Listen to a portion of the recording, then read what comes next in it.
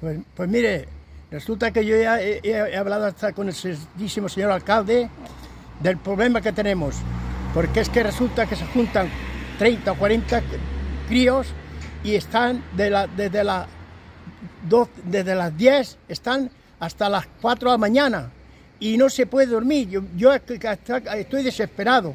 He hablado con, con, los mozos de escuadra, nadie viene aquí. Tenemos policía municipal que, que nos tenemos para pasearse todo el día ¿eh? y por la noche no hay ninguna vigilancia. Y esto no puede ser, porque si tiene que tomar uno la justicia por, por su mano, no hay derecho. ¿eh? Pero tampoco no hay derecho que se pueda descansar a partir de las 12 de la noche, cuando la, la piscina municipal, al señor que la ha cogido, ¿eh? respeta los horarios y a las 12 cierra la música.